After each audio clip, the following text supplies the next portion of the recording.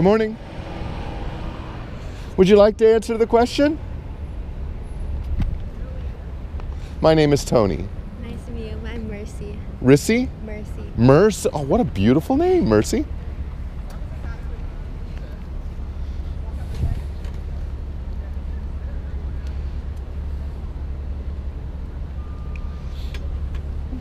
So, so Mercy, do, do you have do you have a moment to chat? Okay, great. Um, you you uh, marked uh, the standards of God. Are you of a particular faith? Yes, I'm a Christian. Are you? I am as well. I am as well. Uh, Mercy, how did you come to faith in Christ? Um, I was saved in the summer of 2016. Oh, really? How did that happen? Um, I don't know. It just God's grace. Yeah. Well, of course it was God's grace. Yeah. How did you come to the realization that you needed Christ? Um, I don't know. Um, I guess after I'm saved, our whole family, because my parents are saved before me, Uh huh. and then we just entered into the church life, Okay. and yeah. Was there? Um, you you mentioned a, peci- a specific time, 2016. Um, was there a moment in that time when you realized that that uh, you had sinned against God, and realized that the punishment for that sin was eternity in hell, and that your only hope was salvation by God's grace through faith in Christ? Was there was there something that happened in your life, or Not particularly. I just realized he loves me, and I just love him. Well, well, you know what? Yeah, the the Word of God says God that He is love, no doubt. He is also holy and righteous and just. Uh, the Bible also describes him as being filled with wrath, righteous anger um, against sin. Uh, he is all of those all of those things perfectly. Um, uh, what are you studying? I'm studying psychology. Okay, and what do you hope to do with that? Be, do you hope to be a psychologist or? Um, no, actually, after I graduate, I'm going to a Bible school for two years. Oh, really? Uh, is that uh, a Bible school in this area or It's in California. which one? In Anaheim. What, what's the name of this? the full-time training in Anaheim. The full-time training in Anaheim. What, is that with a particular denomination or? Um, have you heard of the Lord's Recovery? So basically, we're like recovering the truth from the Bible, and we're we've been practicing everything according to the Bible. So it's been really sweet. And so what, is, uh, what, what does that mean, recovering the truth of the Bible? What, what's been missing? So I don't know if it sounds offensive to you, but I don't mean that way. But um, so for the denominations in the Bible, you know, Paul said the church in Antioch, the church in Ephesus, the church in Corinth. Uh-huh. So it's basically a principle: one locality, one church.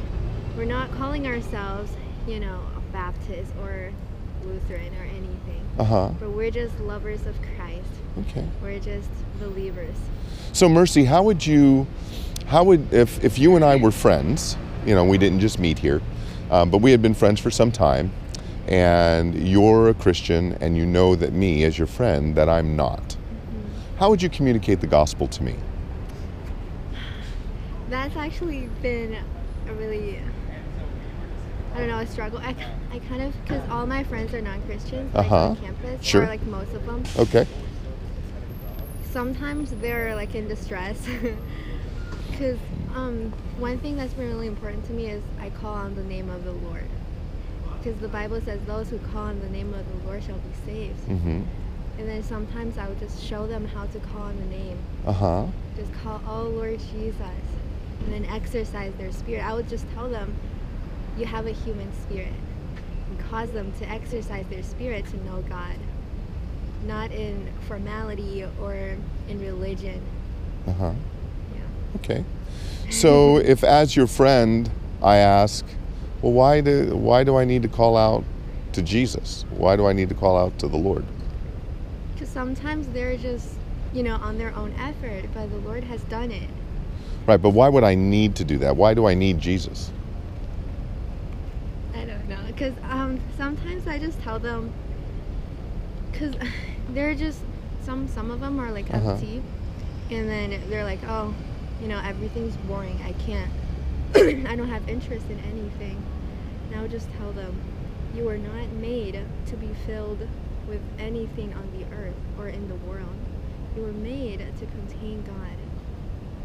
And, and, what do you mean by contain God? What does that mean? We're a vessel, because in Genesis 1:26, He created us according to His image and Mhm. likeness. Yes, we are image bearers of our Creator, no doubt. Yes, and then we're like a earthen vessel to contain Him, because God is spirit, and those who worship Him must worship in spirit and Mhm. truthfulness. That's true. And then we have our human spirit. So our human spirit is like a vessel to contain God. So then we can express God in our daily life. So, uh, so who is Jesus to Mercy? How, how would you describe Jesus to me? Who, who is he? I don't know. He's he's my savior. He's my friend. He is I don't know. You can say a lot of things about him, and he is also God.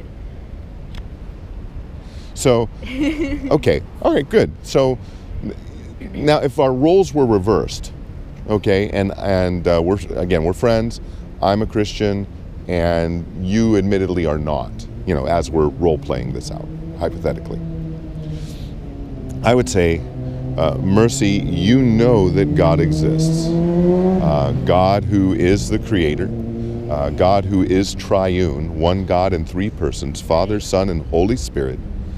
Uh, he has written the reality of his existence on your heart. His, con- his creation testifies to his existence, and he's also given you a conscience.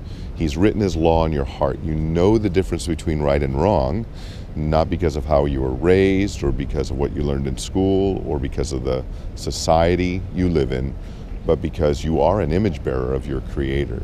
And as such, God has given you a conscience. You know it's wrong to lie. You know it's wrong to steal. You know it's wrong to take God's name in vain. You know that because, uh, God, again, God has given you a conscience.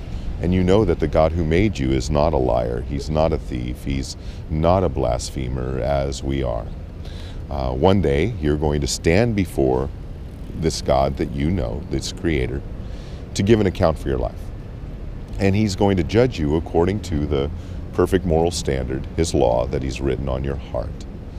And all of us have sinned. All of us have fallen short of God's glory. We may do so in different ways, but we none of us have lived a perfect life. Even though Jesus said you are to be perfect as your heavenly Father is perfect. None of us can live up to that standard. And so because we've sinned against God, because we've broken his law, God's going to judge according to that. And the punishment that God has determined for sin, the violation of his law, is eternity in hell. Now, the good news, mercy, is that God has provided a way of escape from his just and his holy wrath against sin.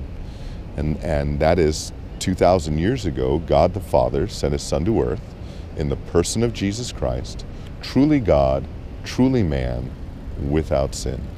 He lived a perfect life from cradle to grave that you and I will fail to live today.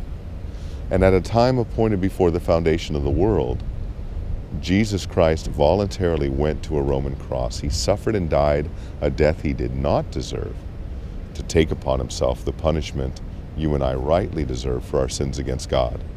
And then he forever defeated sin and death when he rose from the grave.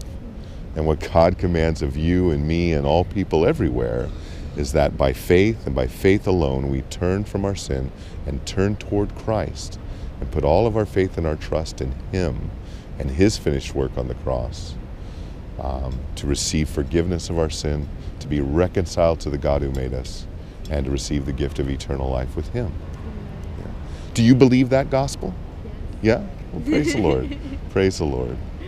So, where are you off to now? Oh, I'm going to class.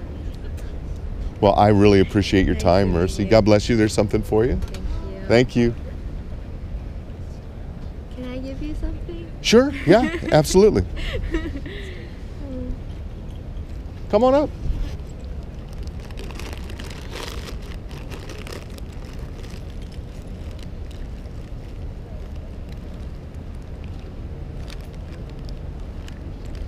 yeah, this is a booklet that I really enjoy. Is um, Thank you. it's half English. Well, like Yeah, right. Sure. Yeah. Yeah. But um, you can read through it and then enjoy. I will. I will take a look at this. Thank you so much. God bless you, Mercy. Thank you for your time.